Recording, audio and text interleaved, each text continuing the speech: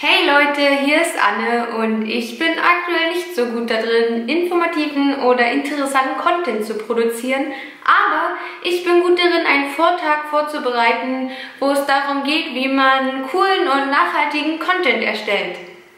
Ähm, ja, also mit dem Fokus auf das Vloggen in Japan und dann macht das Ganze vielleicht schon wieder etwas Sinn.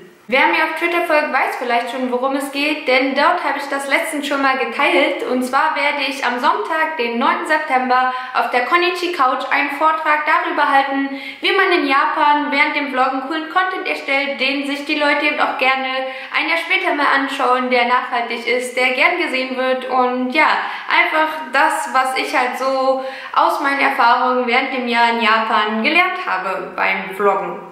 Ich war ja letztes Jahr schon auf der Konichi Couch bei dem Japan-Blogger im Talk-Panel dabei und das habe ich vorher nicht ankündigen können, weil das einfach relativ kurzfristig war, nachdem ich nach Deutschland wiedergekommen bin.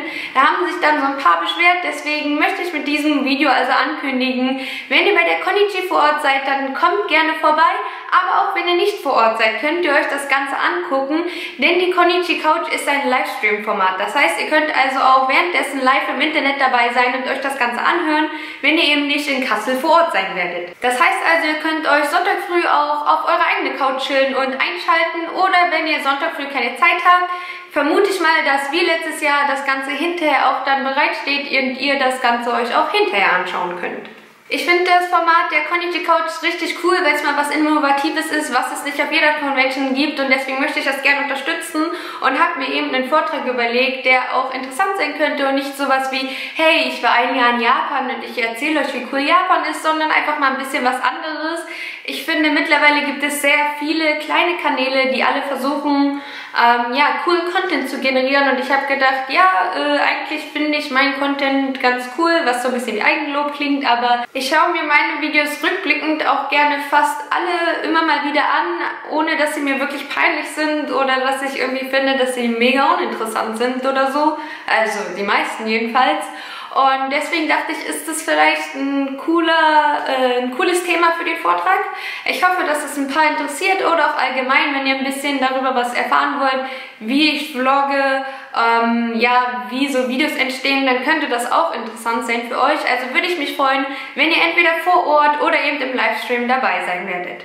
Außerdem werde ich auch den Max von Epic Vlogs dabei haben. Ich habe mir gedacht, ja, Max war auch eine Weile in Japan und hat super coole Videos währenddessen gemacht. Und dadurch wird das Ganze auch nochmal ein bisschen dynamischer und ihr kriegt nicht nur meinen Blickwinkel, sondern eben auch seinen Blickwinkel mit. Und ich meine, ja, er macht das Ganze schon ein bisschen länger mit den Videos als ich.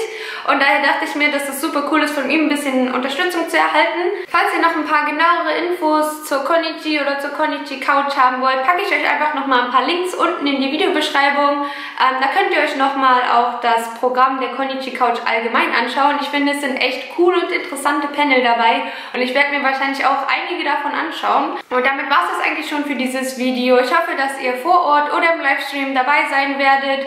Ähm, ja, ich bedanke mich, dass ihr in dieses kurze Video eingeschaltet habt und wir sehen uns beim nächsten Mal wieder.